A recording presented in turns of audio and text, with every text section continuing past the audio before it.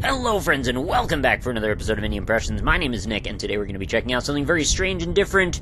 Bird Snapper is our game for the day, and this is by developer Tom van den Boogaart. And my apologies if I mispronounced your name at all. Uh, this is a first-person exploration uh, experience. I think we're going to lean on, uh, or at least lean in the direction of. This is one of those things that sort of defies genre expectations or categorization or really any general description. We're just sort of exploring in an ambience in, a, uh, in an environment, taking in the sights and sounds and seeing what there is to see. There's not necessarily a win condition as far as I'm aware, but there is some stuff going on here that we should be aware of, and it's certainly quite unsettling. So we seem to find ourselves in the middle of the desert in what seems to remind me a little bit of another indie game that I've played called Tandor, only minus the uh, shotguns and murder. Uh, in this case, all we are presented with is a lone bicycle, which we can then ride. And you'll see it's getting to be quite late at night, and all of the lights have been turned off with the exception of the moon, which seemed to have been directly to my left. However, I chose to go completely in the opposite direction. Uh, so all of the plants seem to have little LED lights mounted on them to give us sort of a glimmering path to head on. Uh, but we can head wherever we want. There's no reason we have to go toward the moon. It's just, you know, something to kind of make a focal point out of. And I can also uh, ring my bike bell if I want by pressing left click here. The other option I have is I can actually get off of my bike and walk away from it, which uh, is sort of the interesting element of what's being presented here, right? So there's not really any characters, there's not really anything to see specifically uh, but you do have this character interaction with the bike, which sort of ends up taking precedence as the most important item you have, because it's the only item you have, is the only thing you have to get you through this desert that you don't know if it will ever end. And you can just keep going in any one direction, and as far as I'm aware, you don't ever reach any sort of anything. It just keeps going on ad infinitum, which just reinforces the desolation of the situation around you, and you start to wonder, well, why are there so many structures everywhere? Why are there all these you know, telephone pole looking things and electrical towers and off in the distance it almost looks like there's a mountainous horizon thing going on and maybe like some very distant lights that are happening but it just doesn't seem like that ever pans out and then after a little bit more inspection you might notice a little bit of a dark fleck in the sky and then maybe take a little time to inspect exactly what that is. And at first, when I saw one of these things, I was thinking, what if this is just some sort of errant bit of you know, asset information. This is supposed to be like a signboard or something that was supposed to be sitting on the ground. Uh, but as you can see, that is clearly not the case. It is actually hovering, uh, and it is hovering sort of eerily in place without really making any sound. And then you start to wonder, well, what if the reason that all of these very dark and sort of creepy sounds are happening is because you're actually being watched by all of these things that are hovering in the sky because there's actually a whole bunch of them in every direction as far as you can see.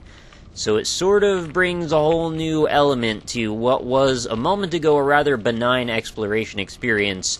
You know, I started this up, I was thinking, well, maybe this is just sort of like a Proteus in a wasteland or something, although I believe there's actually like a Proteus mod that does something like that as well. Uh, and then I was thinking, well, maybe this is like Dark World Proteus meets Fallout 3 Wasteland plus Bicycle, uh, and then more ambience. And that's sort of where I was lying until I found those UFO looking things, and also started to question what's up with these, uh, what I thought to be telephone poles start to look like antennas a little bit, and all of a sudden, you know, this whole rather boring Americana presentation starts to turn into something a little bit more sci fi, and uh, definitely a little bit creepy.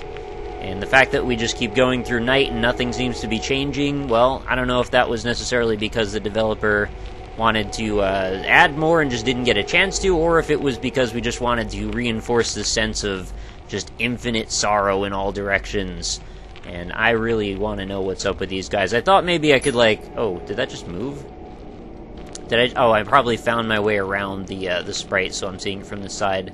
So they're actually like rectangular boxes floating in the sky. So I thought maybe if I like ring my bike bell at them for a while, they would like come down and visit me or something. It doesn't seem to be the case.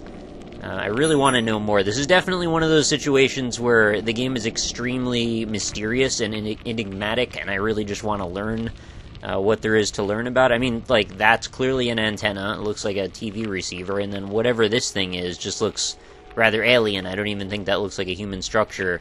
I mean, that looks like a human structure. That kind of looks like a hybridization of a human structure. that over there, that electrical tower is like definitely a human structure, and there's actually like a proper telephone pole. And then like, what's up with the plants? Why do they all have lights on them? I don't know. Just makes me wonder a lot of things. I actually really like experiences like this. They make you question, you know, the boundaries of what is and is not a game, where uh, performance art and game interactions meet. All of those types of things are things that I, I, think about very regularly and I consider when I'm looking for games to cover on Indie Impressions. And at face value, this is a very simple experience. There's not much of anything really to talk about. But it's once you start to really dig in a little bit deeper that you realize, well, this actually has some promise. Just if only because it created so much interest in the ambience and so much just curiosity, I think, which is a thing that I think often gets overlooked. You know, without curiosity, you're not going to have a lot of compulsion to want to explore, right? So you've got to have something to drive the player on, whether that be, uh, you know, exploration for exploration's sake, leveling systems, the desire to find more loot, the desire to get to the end of the game to get a high score, so on and so forth. You get the idea, but it's just a, it's a cool premise and I also really like the fine details. The fact that it does actually go through a day night cycle. There's little particles in the air. There is this sort of looming horizon line, and possibly some birds off in the distance. And then you just have this strange dependence on a bicycle. It's such a benign object, but in this particular case, it's actually extremely important, you know, to your player because without it, I walk away, I leave it. I don't think I will probably ever find it again because, as far as I know, this is a procedurally generated uh, endless desert I guess that would be kind of a good test, right? To walk away from the bike and see if when I go back in that direction, if it's still there, or if it gets absorbed into a chunk that then gets deloaded from RAM, and then maybe you'll never see it again. Who knows? Maybe the test is to walk away from the bike to part with your uh, your partner in crime in this specific case. Uh, it hasn't been deloaded yet, but it is actually kind of giving me a good uh, sight on this tremendous draw distance. Because, yeah, I can still see it pretty clearly all the way from this far away. Thankfully, your character doesn't run out of stamina or need water or anything like this, otherwise, you probably would have been dead a long while ago. It's too bad that there's not more features to see along the landscape. I would have loved to run into a little bit more in terms of, you know, maybe a road every now and then. Although I guess you'd follow the road and realize that it would end up not going anywhere. Well, I guess that could be its own reward in a way. Or perhaps some random garbage strewn about in the desert or some tumbleweeds that roll by. I'm sure there's plenty of other things that could have been implemented uh, if the developer wanted to take this concept even further. But as it is, it's just a kind of a cool little experiment, and I appreciate it, even though uh, it may not be something that can come to an end or a conclusion in any meaningful way. I still value it just for what it is at face value. So, anyway, that's going to be another day's worth of indie impressions. Hopefully, you enjoyed this episode. If you did, consider leaving a like on it. it does help me out a whole bunch so we can continue to spread the word about more creative and experimental, unique, artistic indie games. And now we're up well over the, I think we're over 820 episodes and counting. It might be 20, it might be close to 20 uh, on the 800 front. But yeah, just uh, continue to leave your support if you think I deserve it. And of course, be sure to come back again tomorrow. New episodes of Indie Impressions go up every single day. So I hope to see you back for another one then. And of course, uh, if you want to go try this out yourself, there will be a link for it in the description. I believe you can either play it as a browser game or you can just download it as well. I recommend that you download it so you can set the resolution. Uh, there, there was a thing where like I was trying to play it in the browser and the mouse kept kind of unsyncing with the window, which can be a little bit distracting. Uh, but yeah, anyway, the other reason I wanted to let this run a little while is just to make sure that if I didn't stick with this for, or if I did stick with this long enough, that something different doesn't eventually happen. Uh, I could also see, man, it would be really creepy if over each day, more and more of those UFOs start showing up in the sky, and then by like the fifth or sixth day, they're just like everywhere you look.